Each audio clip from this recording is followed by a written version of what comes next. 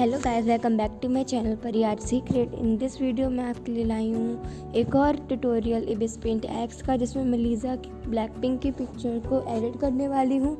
उसके लिए आपको पहले से ओपन करना है, फिर आपको प्लस वाले ऑप्शन में जाना है। और आपको आपको जो भी रेफरेंस फ़ोटो आपको जो भी पिक्चर लेनी है, मैंने आप लीज़ा की पिक्चर ली आप अपने हिसाब से कोई भी पिक्चर ले सकते हैं। पिक्चर को लेने के बाद आपको फ़र्स्ट वाले ऑप्शन पे क्लिक करना है। और आप, प्लस आपको दिख रहा होगा प्लस वाले ऑप्शन पे क्लिक करना है जिससे कि एक लेयर कन्वर्ट हो जाएगी जिससे आप अपनी रेफरेंस फ़ोटो में हेयर में कलर कर सकते हैं। इसके बाद आपको अपने आपको जो भी कलर करना है अपने रेफरेंस फ़ोटो में आप अपने हिसाब से कर सकते हैं फिर आप मेरा देख के भी कर सकते हैं जैसे मैं कर रही हूँ। मैं यहाँ पे मिक्स्ड कलर कर रही हूँ पर्पल का ब्लू का डार्क पिंक का और पिंक का। फिर मैंने बरगंडी कलर करा है उसके बाद मैंने लाइट पिंक कलर करा है, उसके हेयर्स में आप अपने मनपसंद से भी कोई भी कलर अपनी डिफरेंस फ़ोटो में कर सकते हैं। उसके बाद आपको वही फ़र्स्ट वाले ऑप्शन पे क्लिक करना है। आपको एक और लेयर प्लस करनी है। प्लस के ऑप्शन में जाकर आपको एक और लेयर प्लस करनी है, जिससे कि आप अपनी डिफरेंस फ़ोटो के आइज़ आईब्रो लिप्स और चिक्स में कलर कर सकते हैं। जैसे मैंने हेयर भी कलर करा था, वैसे ही मैं मिक्स कलर आइज़ में भी करूँगी। मैंने आइज़ की आइज़ में मैंने करा है पर्पल कलर का कलर करा है उसकी आइज़ में। उसके बाद आपको ऊपर एक ऑप्शन दिख रहा होगा, वहाँ पे एक हैंड बना होगा, उस पर आपको क्लिक करना है। उसके बाद आपको एक फोर्स फेड करके एक ऑप्शन दिख रहा होगा, वो ऑफ़ होगा, उसको आपको ऑन करना है। उसके बाद शेप ऑफ़ फेड में जाके आपको उस शेड सिलेक्ट करना है। उसके बाद अगर आप आइज़ में कलर करेंगे तो बहुत स्मूथली कलर होगा आइज़ में। उसके लिए आपको एक ब्रश लेना है। डिप पेन हार्ड ब्रश होता है वो, जैसे कि मैंने लिया है, वैसे। उससे क्या होगा कि आपकी आइज़ में बहुत स्मूथली कलर हो जाएगा, जैसे कि मेरे आइज़ में हो रहा है, वैसे ही। ऐसे ही मैंने मिक्स मिक्सचर करके डार्क ब्लू पर्पल पिंक और बर्बनी कलर से मैं आइज़ को फिल करूँगी। उसके बाद मैंने आईब्रो में पर्पल कलर लिया है हेयर के मिक्स में करके। उसके बाद मैंने लिप्स में, सबसे पहले मैंने लिप्स में डार्क ब्लू कलर लिया है, उसकी ऊपर बॉर्डरिंग करने के लिए मैंने डार्क ब्लू कलर लिया है, उसके बाद मैंने बॉबंडी कलर लिया है, उसके अंदर के पोर्शन में करने के लिए, उसके बाद मैंने लाइट पिंक कलर लिया है लाइट पिंक कलर को अंदर के पोर्शन में करने के बाद फिर मैंने फिर से डार्क ब्लू कलर लिया है, जिससे कि वो पूरा मल्टी कलर जैसा बन जाए।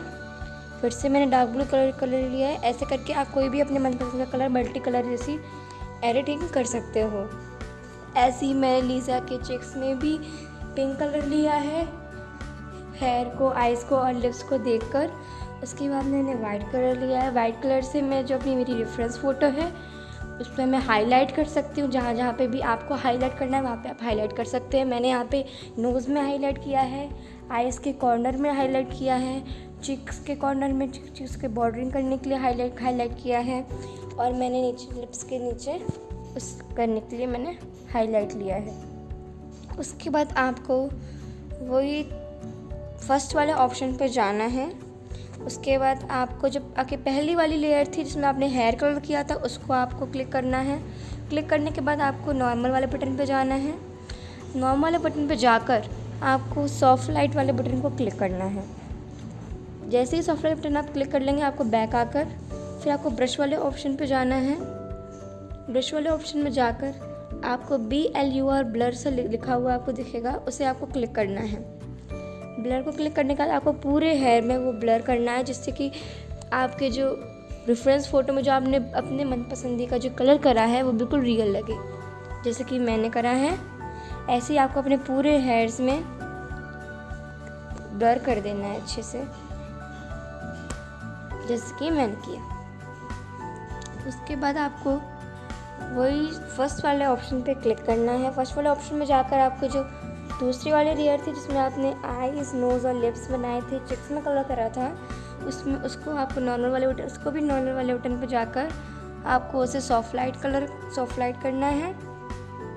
सॉफ्ट लाइट करने के बाद आपको उसको भी हल्के ब्रश से उसको भी पूरे में ब्लर करना है।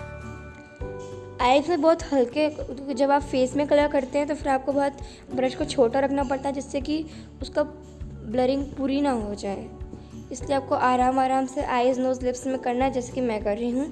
हाईलाइट में आप थोड़ा सा ब्रश बढ़ा सकती हैं, क्योंकि हाईलाइट को हटाना भी होता है। थोड़ा सा चिक्स में अगर आपको ज़्यादा लग गया तो फिर आप उसको ब्रश को बढ़ा कर कर उसको भी आप कम कर सकते हो, जैसे कि मैं कर रही हूँ।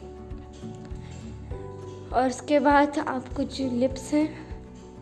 लिप्स में आपको हल्के हल्के हाथों से ब्लर करना है, जैसे कि मैंने। सो so गाइस सही था मेरा एवीस पेंट एक्स का सेकेंड ट्यूटोरियल लीज़ा की पिक्चर में एडिट करना। So guys I hope you like this video तब तक के लिए थैंक्स फॉर वॉचिंग